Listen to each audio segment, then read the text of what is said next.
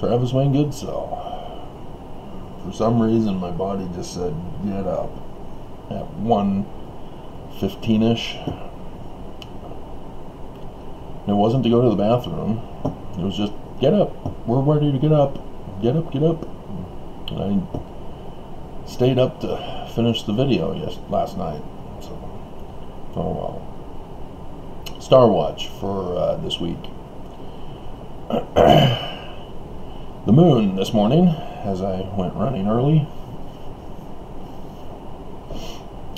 is uh, behind uh, the mist of darkness, covering up the tree of life. But uh, the moon is at the top of the Club of Orion. And uh, that's significant because it means there's a message. And it's a religious message because the moon, for the left eye, refers to religion. The sun is the right eye for government. And uh, it'll be a full moon, so that even is more significant as uh, it's uh, indicating a an, an anointing, a crowning, an overcoming, a conquering as part of the message. Uh, the uh, full moon will be at uh, the crotch of Gemini. Gemini is the twins. Now, if you know your Bible stories, there's uh, some stories about how the birthright blessing son gets his birthright blessing usurped by the brother and in several cases there's a twin brother involved. So now we have a better understanding that the full moon is uh, in Gemini with the message today indicates a usurping of the religion. Which, yes, sounds awesome to me. As the religion we all know and, and love and cherish is the Church of Jesus Christ of Latter day Saints. So finally, hopefully, well, this is what it means in the stars. And, you know, if God wrote the text of the stars, it has to be fulfilled. So, yes, the church has to fall. That's what it means. So, there's no other interpretation. We can't impose our own interpretation. It ha- it is what it is. so, all right, so let's get to others that are in the sky right now. Jupiter, if you're familiar with the uh, 21st, last week, Jupiter and Saturn uh, were together again since 1623, I believe I've calculated. Uh, only the Deseret News got it right. Which, what?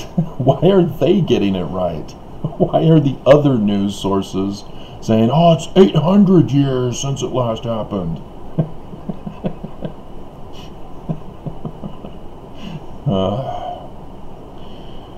so why I don't understand the Deseret News. Why did they get it right for this once? The prophets don't care about the signs in the heavens. They don't care that there's a second coming going on. they don't believe it. Why is the Deseret News concerned? so yeah, Jupiter is now moving on past Saturn. And so, uh, again, here's another uh, supplanting, replacing, uh, conquering, uh, passing uh, as Jupiter passes Saturn finally.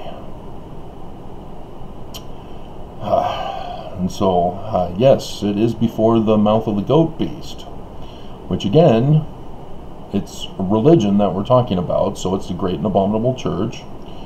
Uh, and Jupiter is the man child of Revelation. That's the uh, child that was born of the Virgin. And so Saturn is the father. And so the father becomes the son, son becomes the father. As uh, Jupiter now takes over the great and abominable church. So again, confirmation of the sign. And there you are. Venus, representing the Mormons, members of the church of the inverted pentagram, the great and abominable church. Because Lucifer, the light bearer, is uh, referred to as the morning star, which is Venus. So Venus has previously uh, been judged in the scales of Libra and failed at the star Akrab, which represents in Arabic the uh, tree of knowledge of good and evil. And so, yes, the woman fell, having partaken of the fruit without Heavenly Father uh, or uh, anybody else accompanying her. She did it by herself, so thus she's a naughty girl. but with this sign tomorrow, she is with Ophiuchus, the throne of God.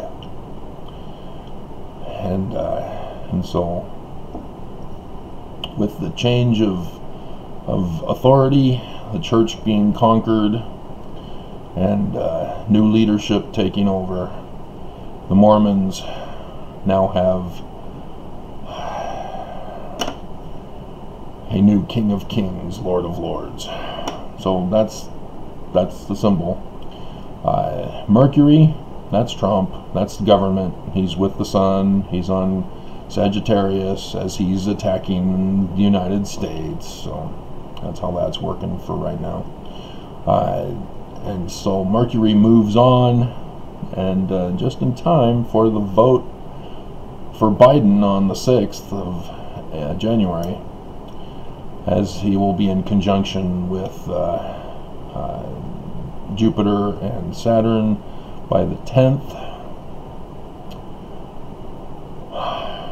So, yeah, change in government.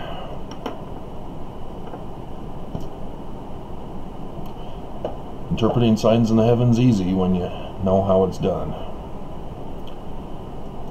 Alrighty.